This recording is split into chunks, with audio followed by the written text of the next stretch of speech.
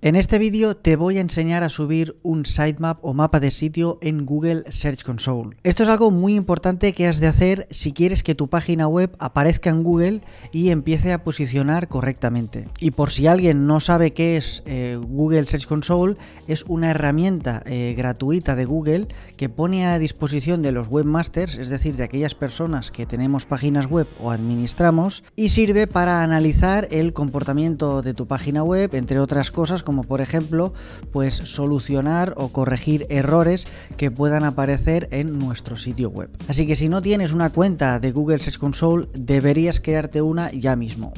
Que por cierto, antes de subir nuestro mapa de sitio a esta herramienta es necesario crear nuestro sitemap previamente y por casualidades de la vida es lo que vimos en el anterior vídeo, donde explico cómo puedes crear un mapa de sitio web de forma muy rápida y muy sencilla. Así que antes de ver este vídeo te recomiendo encarecidamente que vayas a ver el anterior si no sabes cómo crear un sitemap pues de forma así muy rápida. De hecho, te voy a dejar el vídeo por aquí y también en la descripción del vídeo. Y como siempre, he de pedirte que le des un like al vídeo si te gusta y que te suscribas si no lo estás. Y ahora sí, vamos a subir nuestro mapa de sitio.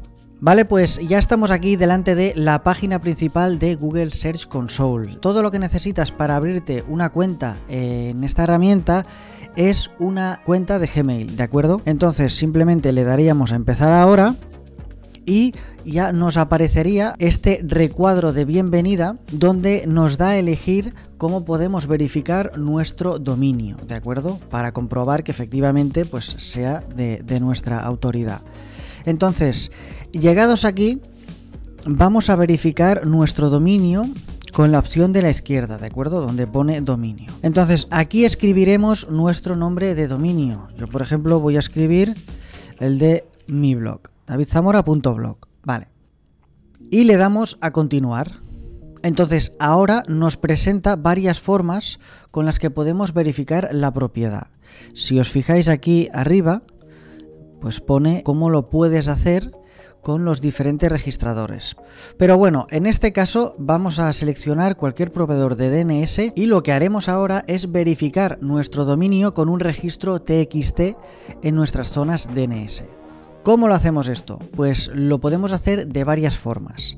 La más normal o la forma más común de hacerlo es o bien desde nuestro cPanel o bien desde eh, directamente desde nuestro registrador del dominio. Entonces tendríamos que ir a la página del registrador donde tengamos registrado el dominio y entonces ahí crear este registro TXT. En este caso yo voy a utilizar un registrador que normalmente utilizo que es NameSilo. Entonces vamos a ir a NameSilo y os lo enseño. Una vez estemos dentro del panel donde salen todos los dominios que tenemos registrados, simplemente tendremos que seleccionar el que nosotros queramos. En este caso yo voy a utilizar el mío propio de davidzamora.blog. Bien, una vez estemos dentro de la opción donde podemos em, administrar o modificar los registros DNS de nuestro dominio, simplemente tendríamos que crear un registro TXT.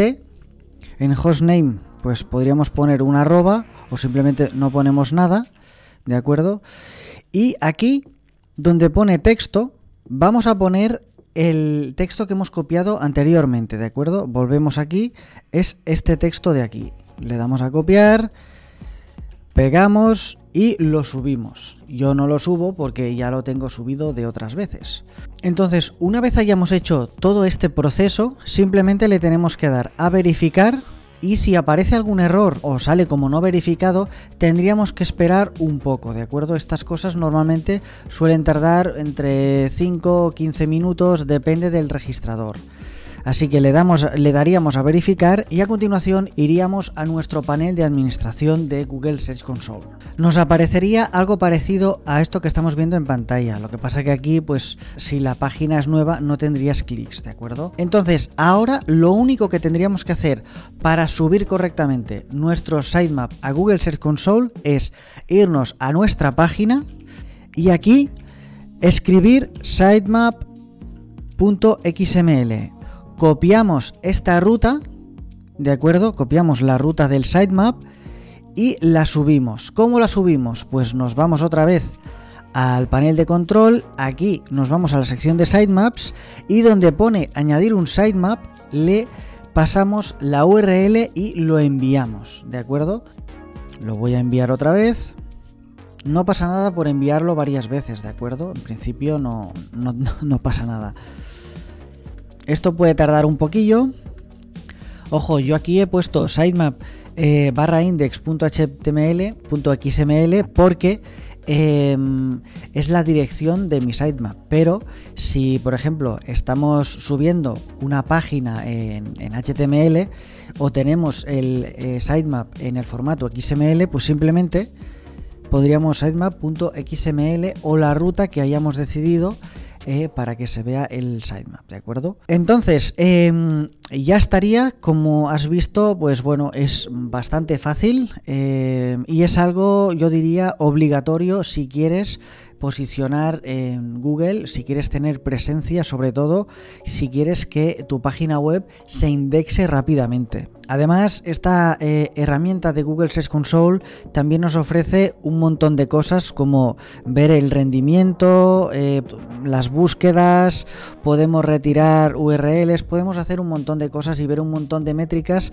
que son realmente útiles para eh, cualquier webmaster. Y nada, eh, espero que te haya gustado el vídeo. Si es así, ya sabes, puedes darle un buen like, puedes suscribirte y nos vemos en el próximo vídeo. Adiós.